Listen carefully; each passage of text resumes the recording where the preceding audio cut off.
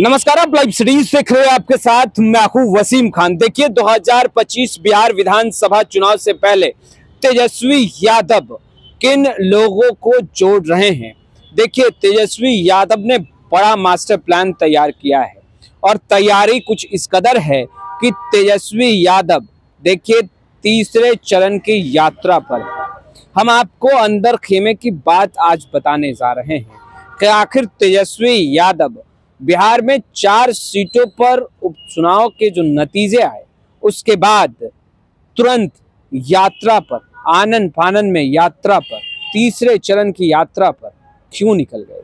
देखिए, जो वर्तमान परिस्थिति है, उन परिस्थितियों को अगर देखा जाए तो तेजस्वी यादव को भी अब पता चल चुका है कि जो राजद के कोर वोटर्स हैं, उनमें कहीं ना कहीं बिखराव हो रहा है।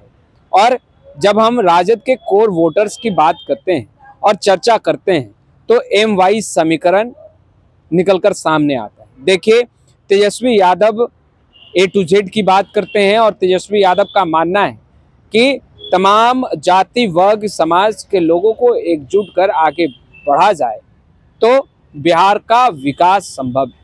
अन्यथा, देखिए, तेजस्वी यादव बिहार में चार सीटों पर हुए उपचुनाव के जो नतीजे आए उसके बाद देखिए, कई तरह के आकलन भी हुए। समीक्षा बैठक हुई और देखिए, समीक्षा बेशक की गई अंदर खेमे और सूत्रों के हवाले से जो खबरें निकलकर सामने आ रही है कि तेजस्वी यादव अब जो मुस्लिम वोटर्स में बिखराव है, जो मुस्लिम वोट बैंक में बिखराव दिख रहा है, उसे एकजुट करने में लग गए हैं। तेजस्वी यादव तमाम जो बिहार में मुस्लिम वर्ग के, मुस्लिम समाज के जो नेता हैं, उनसे संपर्क साध रहे हैं, एकजुट कर रहे हैं और ग्राउंड ज़ीरो पर हैं, हकीकत जानते हैं।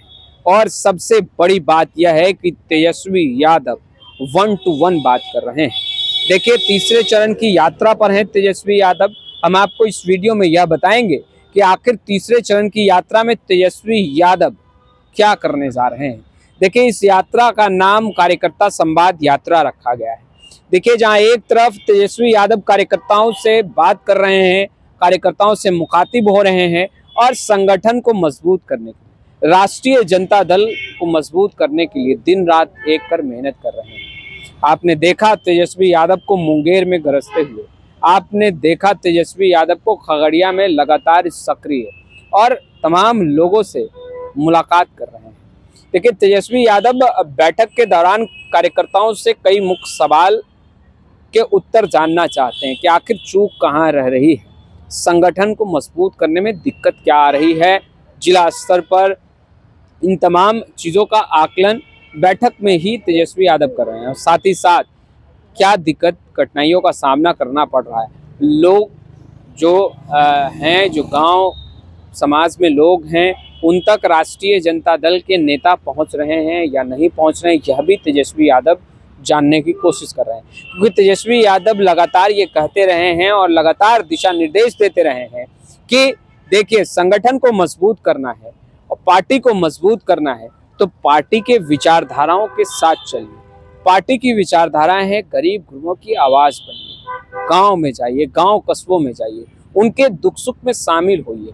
और देखिए कोशिश कीजिए कि उनके दुखों में शामिल हो और जो परेशानियाँ आ रही है जो कठिनाइयाँ आ रही हैं उनका समाधान कीजिए।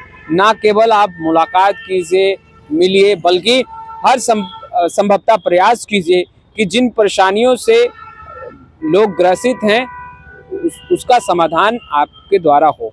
देखिए राष्ट्रीय जनता दल गरीब गुरबों की पार्टी है। तेजस्वी यादव भी ये कहते रहे हैं, लालू प्रसाद यादव भी ये कहते रहे हैं। वहीं देखिए, चार सीटों पर जब उपचुनाव हुए, नतीजे आए, हमने आपको वो तस्वीरें दिखाई है।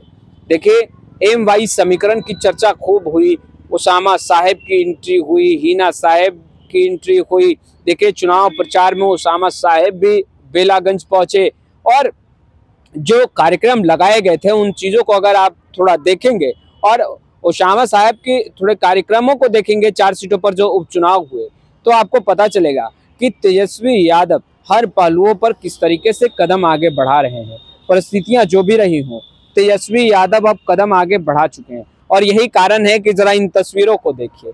तेजस्वी यादव जो मुसलमान वोटर्स का में बिखराव है, जो बिखराव दिख रहा है, जो एम वाई समीकरण में टूट दिख रही है, जो बिखराव दिख रहा है उसे एकजुट करने में लग चुके हैं। देखिए कुछ तस्वीरें निकलकर सामने आई जहाँ तेजस्वी यादव दिखाई दे रहे हैं और मुस्लिम समाज के लोगों के बीच हैं और तमाम लोगों से बातचीत विचार विमर्श किया जा रहा है। और देखिए मान मनोवल अब शुरू हो चुका है। राष्ट्रीय जनता दल की तरफ़ से अब देखिए एम वाई समीकरण जो कि राजद का कोर वोट आ, आ, वोट कहा जाता है कोर वोटर्स कहे जाते हैं मुस्लिम यादव, अब तेजस्वी यादव जो है, वो एम वाई समीकरण को एकजुट करने में लग चुके हैं। देखिए, तीसरे चरण की यात्रा में तेजस्वी यादव जहाँ एक तरफ़ कार्यकर्ताओं से संवाद स्थापित कर रहे हैं, बुद्धिजीवियों से भी बात कर रहे हैं, वहीं दूसरी निगाहें एम वाई के तरफ़ है।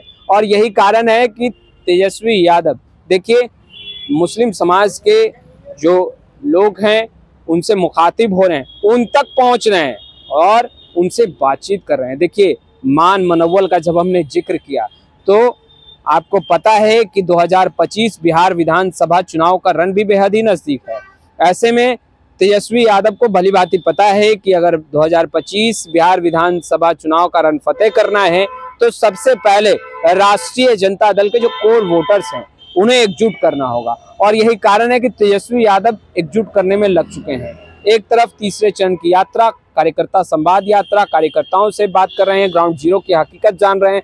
जनता से जुड़े हुए मुद्दों को भी जानने की कोशिश, क्षेत्र में क्या समस्याएँ उत्पन्न हो रही है, वह भी जानने की कोशिश। और देखिए, सबसे अहम कदम जो तेजस्वी यादव बढ़ा रहे हैं, वह बढ़ा रहे हैं, देखिए एम वाई को फिर से एकजुट करने के लिए। और खास तौर पर जो मुस्लिम वोटर्स में बिखराव है, तेजस्वी यादव जानते हैं, समझते हैं कि देखिए जो मुसलमानों का वोट है उसे अपने पाले में लाया जाए उसे राष्ट्रीय जनता दल की ओर फिर से रुख करवाया जाए और यही कारण है कि तेजस्वी यादव स्वयं जो आ, मुस्लिम समाज के जो आ, लोग हैं उनसे मुलाकात कर रहे हैं। हालाँकि कार्यकर्ता संवाद यात्रा में तेजस्वी यादव कार्यकर्ताओं से ही मुखातिब होंगे और उनके साथ ही बातचीत करेंगे वन टू वन कार्यकर्ताओं से बात करेंगे।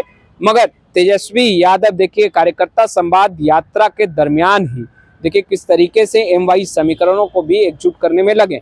यही कारण है कि मुंगेर हो या खगड़िया हो, जिन जिला में तेजस्वी यादव की एंट्री हो रही है, मुख्य तौर पर तेजस्वी यादव तमाम लोगों से बातचीत कर रहे हैं और कहीं ना कहीं अब तेजस्वी यादव मान मनोवल में भी लग चुके हैं, क्योंकि उन्हें पता है कि 2025 बिहार विधानसभा का चुनाव नज़दीक है और अगर चुनावी रन को फतेह करना है, जीतना है तो सबसे पहले जो राजद के कोर वोटर्स हैं, उन्हें एकजुट किया जाए, उन्हें मनाया जाए, रूठे हुए को मनाया जाए और तेजस्वी यादव उस मिशन पर भी लग चुके हैं, रूठे को मना रहे हैं, गले से गले लगा रहे हैं और तस्वीरें भी कुछ इसी तरीके से निकलकर सामने आ रही है।